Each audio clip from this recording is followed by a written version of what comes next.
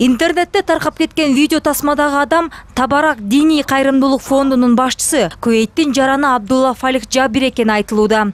Анын белгисиз кыз менен болгон жакындашуусу тымызын камерага тартылып алынган. Буга чейин абдулла фалих жабирдин үнүнө окшогон адам кыргызча сүйлөгөн кыз менен телефон аркылуу соодалашып жаткан аудио жазуусу да таркап кеткен. Мында чет элдик жаран акчага убактылуу нике кыюуну сунуштап жатканын укса болот. Okumaya da gerek, nikah gerek. Nikah kimге керек? Arap'tan bak. Mo Araplargabı? Kaçan gerek? Bugün de gerek. Erken yaxşı kız gerek nikah. Bir gün bu bir. kancak söyle. 200 dolar. Bir nikahı 200 dolar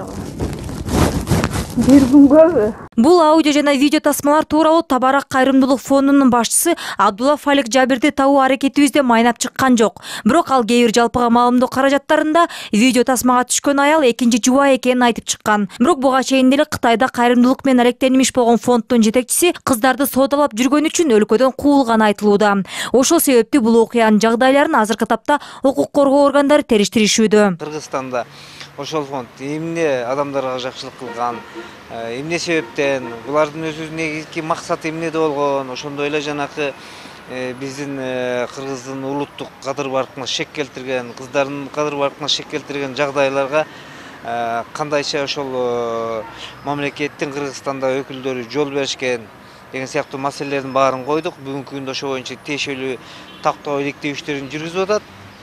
Ошондой эле жанакы видеодо болгон окуя кайсы жерде болгон кимдер качкан анан ал жерде ортодо жүрүп иштеген кимдер болгон ошолордун баарын тактап атабыз. Негизи убактылуу нике кыйганга шарият жол бербейт. Анткени бул сойкулукту мыйзамдаштыруу дегендикке жатат. Бирок ислам дининде сунниттерде убактылуу нике кыюу деген түшүнүк жок болсо шииттер буга уруксат беришет экен бул фонддун мисалы үчүн башчысы кувейттин жараны болгондуктан кувейтте мындай иштер барбы же жокпу же болбосо алардын салттуу түрүндө тутунуп аткан диний багыттын ичинде барбы же жокпу дей турган болсок мен билгенден алар деле суннилер балким мисалы үчүн шафи мазхабында болушу мүмкүн балким салафи мазхабында салафи багытында болушу мүмкүн же болбосо хамбали мазхабында болушу мүмкүн суннилердин кайсы гана багыты болбосун ал багыттардын эч бирөөсүндө жанагындай убактылуу нике же болбосо никахул мута деп коет андай түшүнүк нерсе жок динге жабынып кыздарды чет өлкөлүк жарандар менен убактылуу никелеген уюмдар тууралуу расмий маалымат жок бирок алар көмүскө иштеп муну бизнеске айлантып жатканын акыркы окуя тастыктап койду. Мындан улам шия багытын кармангандар жергиликтүү мазхабка туура келбеген принциптерди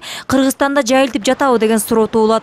Анткени буга чейин деле шииттер агымын жайылтуу аракеттери жогорку окуу жайларда байкалып ал тургай ички иштер министрлиги териштирүү иштерин жүргүзүшкөн в начале 2013 менин билишимче эки миң он үчүнчү эки миң он төртүнчү жылдары шиит агымын жайылтуу аракеттери болгон укук коргоо органдары жогорку окуу жайлардын бириндеги борбордун мыйзам бузуу фактыларын таап чыгышкан эгерде кайсы бир диний уюм мыйзамга туура келбеген кадамдарга барышса анда укук коргоо органдары менен дин иштери боюнча мамлекеттик комиссия бирге иш алып барышат.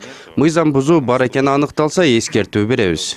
Бүгүнкү күнү кыргызстанда үч миңге жакын диний уюмдар бар. Алардын ишин көзөмөлдөө муфтият менен жергиликтүү бийликтин мойнунда. Эгерде тиешелүү органдар тарабынан бул боюнча толук кандуу иш жүргүзүлбөсө кыргызстандагы конфессия аралык кырдаал курчуп кетүүсү толук мүмкүн.